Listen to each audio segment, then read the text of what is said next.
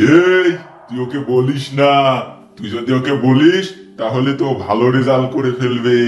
আর আমি শয়তান হয়ে এটা কখনোই মেনে নেব না। তোকে আমি যে করেই হয়ে কাকাবই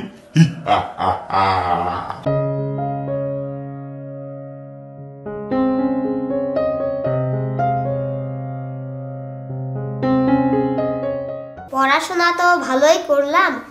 আর কয়দিন পরেই তো পরীক্ষা। ভাইয়ের কাছ থেকে তো একটু পরামর্শ নিতে হবে যে কি করলে আমি ভালো রেজাল্ট করতে পারব। ভাইয়া ভাইয়া। কি হয়েছে মরিয়ম? ডাকছো আমাকে? হ্যাঁ ভাইয়া। তুমি একটু আমার ঘরে এসো তো। আচ্ছা আমি এখনই আসছি। কি হয়েছে মরিয়ম? তুমি পড়ার সময় আমাকে ডাকছো কেন? ভাইয়া আমার তো আর কয়েকদিন পর পরীক্ষা।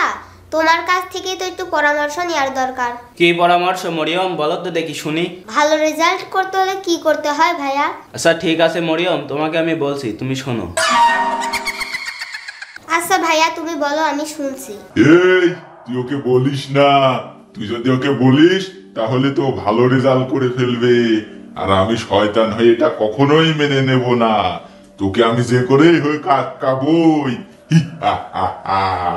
তুই ওর কথা শুনিস না। তুই আমার কথা মতো চলবি। তুই আমার কথা মতো কাজ করবি।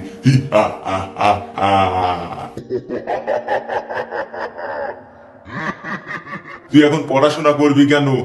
যা গিয়ে টিভি দেখ, তুই মোবাইল সাবেক যা যা, তুই আমার কথা শুনে ওর কথা তুই শুনিস না। ও ভালো পরামর্শ দিবে না তোকে।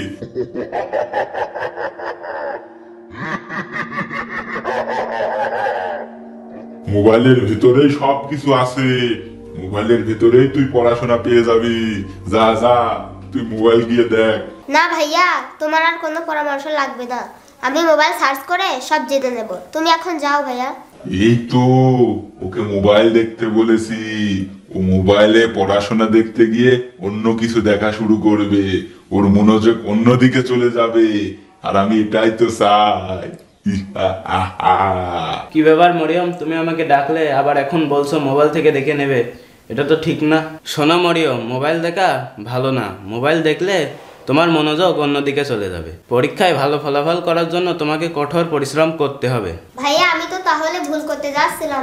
এই তোকে আমি কি বললাম? তুই ওর কথা শুনিস না। তুই আমার কথা শুনে যা গিয়ে মোবাইল দেখে হিহাহা। ভাইয়া আমাকে কি করতে হবে তুমি বলো আমি তাই করব। নতুন ক্লাসে উঠে নিয়মিত পড়ালেখা করতে হবে আর আল্লাহর উপর বিশ্বাস রাখতে হবে। পরীক্ষায় যাওয়ার আগে সালাতুল হাজত দুই রাকাত নামাজ পড়বে। নামাজের আগে নিয়ত করবে সালাতুল হাজত বলে। পরীক্ষা শুরু করার আগে শয়তানকে তাড়িয়ে নেবে। সেটা আমি এখন বলছি। আউযু বিল্লাহি মিনাশ শাইতানির রাজিম। বিসমিল্লাহির রহমানির রহিম। তারপরে আরেকটি দোয়া আছে, সেই দোয়াটি পড়বে। পরীক্ষার প্রশ্নপত্র যখন তুমি হাতে পাবে, তখন রব্বি জিদিনি ইলমা, রব্বি জিদিনি ইলমা রব্বিশ রহলি সদরি ওয়াসিরলি আমরি। এই দোয়াটি খুব সুন্দরভাবে পড়বে। তাহলে আল্লাহ তালা তোমার উপর খুশি হয়ে তোমার স্মৃতিশক্তি বাড়িয়ে দিবে। ঠিক আছে ভাইয়া তোমাকে অসংখ্য ধন্যবাদ। আচ্ছা ঠিক আছে। এখন তুমি পড়াশোনা করো আমি গেলাম।